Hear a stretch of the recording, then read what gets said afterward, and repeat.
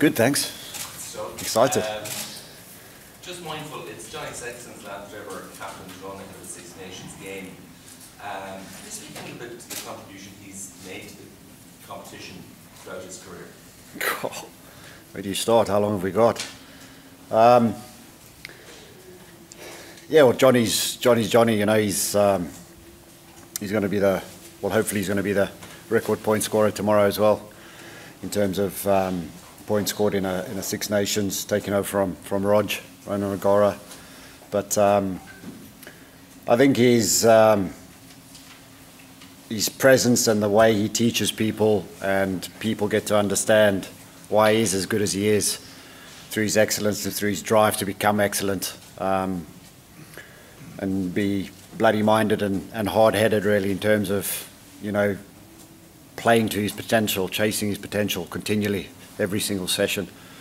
I think players have really thrived on the back of that and learnt a lot from, from Johnny on the back of that. What it means to play for his country is, um, is huge. You know, he epitomises the whole, the whole thing. So, He's been a great leader. He's got an amazing knowledge of the game. So, so working with Johnny, you know, you can let him go and he can, he'll run the show. So it's, it's, it's, and it's um, just making sure that he puts the best performance in, in, in tomorrow because that's what it's all about, really. It's, it's not about Johnny and his last game or his last captain's run. It's about the performance of the team, which is crucial for us tomorrow. Uh, just sort of the back three there, unchanged again for fifth game in a row, from um, you have Mack Hansen, who's won three man of the match awards in, eight games, been functioning incredibly well. Bonus points in every game except the last game. How happy have you been with the way the attack has functioned in this competition? Yeah, we've been in drips and drabs. You know, we haven't really, I don't think we've really nailed our attack in terms of where we'd like to be. Um, but partly of that is because you're coming against some exceptionally good defences. Um, I thought Scotland tested us. Um, they, they, they defended very well last week. They were very physical. And it's something that, um, you know, England, England will bring tomorrow. So it's, um, it's making sure that when we get those opportunities that we're ruthless with those opportunities. We have to score those points when we get the opportunity to do it because you don't get a lot at international level, especially against a, an England side or a Scotland side. So being um, relentless and, and going after those those moments and don't miss those moments in a game. Mike, can I just ask you about the occasion tomorrow? Um, Ireland won a Grand here in Dublin. It's against England on St Patrick's weekend. Is that something you're you're tapping into, and would it be the, the biggest win in Irish rugby for tomorrow? Um, are we tapping into it? I suppose we. I mean, it's going to be a great weekend. You know, I think the fans have been amazing. I think, you know, the way the, the boys have played has definitely gripped the nation in terms of the success we've had over the past year. Um, but again, as, as a group, you know, we're not going to get too emotional about the whole thing. It's a game of rugby, and, and all we're doing is, is chasing our potential and, and, you know, making sure that we can be ourselves in this environment. And that's pretty much what we've spoken about all week in terms of, you know, go and be the best version of yourself, get out there and go and play. And um, don't worry about the occasion. It's got nothing to do with it, really. It's about you being the best version as a rugby player you can possibly be. How important is, is the crowd in a game like this? Oh, it's listen, the atmosphere. I think you can feel the buzz in the city already. You know, it's everybody's walking around. It's uh, it's amazing, and it's just just um, yeah. You know, you want to be in games like this. You want to be part of, of of big things like this. It's the reason we do the job. You know, the players do their jobs, and um, you know, you've got to thrive in this this intensity. It's brilliant. Mike, how was the training out there for the, the captain's? Yeah, yeah, good. Everybody fit and healthy. Dan and, and Caelan have all come through through through well.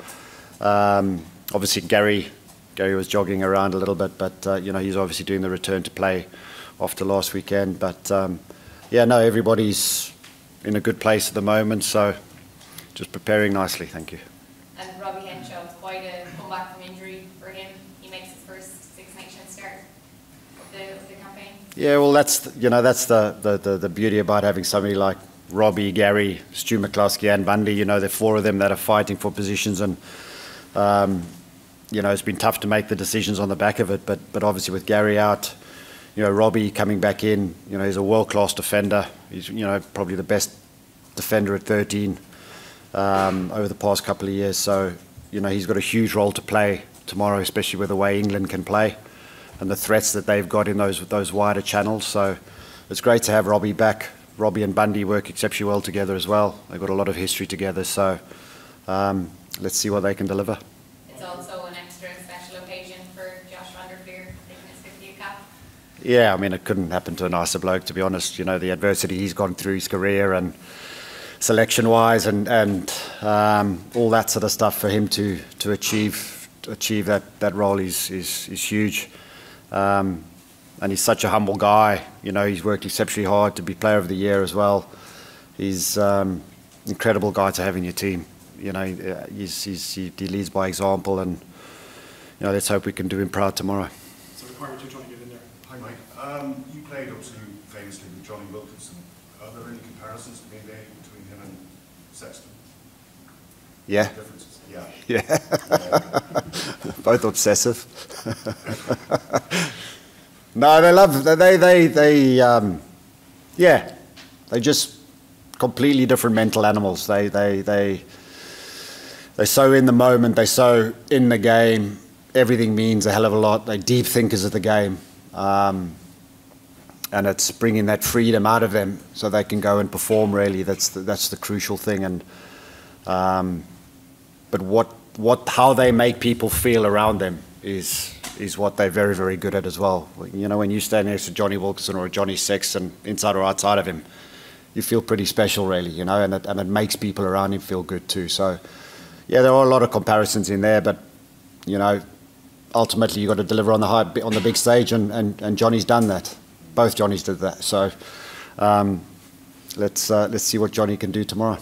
Mike, can you tell us about the mentality of your team? Lots of people saying that they look like you're in the team of 03, the way that they tick off these big wins. Do you see comparisons or parallels between the two? Um, I mean, I don't dwell on it too much, to be honest. Um, it's, I think what Andy said all week really is being the best version a player can be of yourself. You know, you look at guys like Mack Hansen have come into the team, Jamison Gibson Park. You know, we haven't asked them to do things that they don't do on their day-to-day stuff. You know, when they're back at their clubs, um, and they've thrived in that environment. And, and that's all we're asking for the players is be their best version because. You know, you never reach your potential, but you can always chase to get to that potential. And and I think you know, making something of of a game of rugby is is too much, I suppose. It's it's a game of rugby that we've all played before, and it's just about you going out and performing in that, that in that environment together, and doing it together, and how cohesive we can be together to to make it happen. So, I think everybody's that's come in has been able to be themselves, which which is huge, and it gives them a lot of confidence and trust. What about that? What about the 03 side? Obviously, you came here and won a, Grand Slam. I mean, you know what it's like. Yeah, yeah. I mean, the, the 03 thing, we- we'd been around together for six, seven years before we did that, seven, eight years. So, um, yeah, you just, it's, you know, rugby's about decision making and being calm enough to make those decisions, and that's all it is ultimately. So, um, yeah, the game's changed a bit since then, but mentality is the same. So, Stephen's trying to get back. Mike, for the time we were out there today, it, uh, everyone looked very relaxed, looked very happy. But is the squad feeling the pressure of a Grand Slam and the expectation? No, I think the expectation is within ourselves. We, we knew we set out to, to be in this position, and you know, fortunately, we've we've come through some real tough games to be in this position. So, for me, the expectation there's enough expectation. We don't need to worry about anything else. We know what we need to do. The players understand what they need to do, um, and it's now being being able to go and do it to, to, to tomorrow afternoon. So, you know, the, the pressure hasn't ramped up at all. We, we, we love being where we are, like any other team would be. Um, so, but we are coming up against a, a hell of an England side. So, um, you know, there's no bones about it. It's, it's, it's going to be a proper test match and a tough test match. Um, Mike, um, for Andy Farrell, the England fly half is what you might call a known quantity, I suppose, but in the sense that they've got Arundell starting his first test start on the wing, they're in the middle of a rebuild, they're coming off the back of a very painful defeat. Is there a sense that England might be a bit of an unknown quantity? You don't know quite what's going to come from them tomorrow? No, I think you know we're massively respectful of that side because if you, if you, especially from a backline point of view, you know, you look at that that backline. They've played in some big games together. You know, you've got a couple of young guys in there, but ultimately, um, you know, Freddie Steward's solid as a rock on the on the back, and Watson's been around for ages. Manu, Slady, and Owen have done some proper damage to, to a lot of lot of teams. So, you know, there's no ways we thinking any otherwise than you know it's going to be a tough, tough, tough test match, and they've got some proper um, X factor players, and I think Arundell's one of those players that we haven't seen a massive amount of, but if he gets the ball, he can he can cause absolute chaos. So. Um, yeah, so it's just making sure we control that, but then control what we can, how we play the game, and, and make sure we make the right decisions at the right time. But they are exceptionally dangerous across the board, and we well we well aware of that. Like you mentioned, uh, Gary Ringrose earlier on, there's loads of concern around his well-being. How's he doing and how involved is, is he? Um, uh, Gary's fine. So he was up and moving around on when did we play Sunday night, back at the hotel with his dad. So um, yeah, he got back on Monday. He's been good as gold. Again, he's helping out throughout the, the especially with the defensive stuff with with with Sais to be and, and him, Robbie, Bundy, and Stu have got good relationships there. So he's been sitting in all those meetings. Um, yeah, Gary's Gary, and um, you know he he just wants what's best for the team ultimately. So he's he's been brilliant for us. The, the families of the players seem to be out there today. What was the thinking around? Well, it's um, you know there's a lot of sacrifice that goes in from the players' point of view, the coaches, the backroom staff, and everything. So it's always a nice little touch for for the um, for the families to come in and actually see what, what dad does or, or, or mum does and, and, and experience um, an opportunity like they can, especially at the Aviva before the big big noise happens happens tomorrow. So it's it's great that they can get here, um, and it's it's obviously St Patrick's Day, so which helps as well, and uh, they're all off school, so it's uh, it's fallen fallen nicely really. But yeah, that, it's it's it's brilliant having your kids here and giving them the ability because it's been a long eight weeks, you know, together or twelve weeks, whatever it is now, um, since Portugal. So you know, there's a lot of sacrifice that goes in there. So it's great to have the have the families and stuff to to calm it down as well.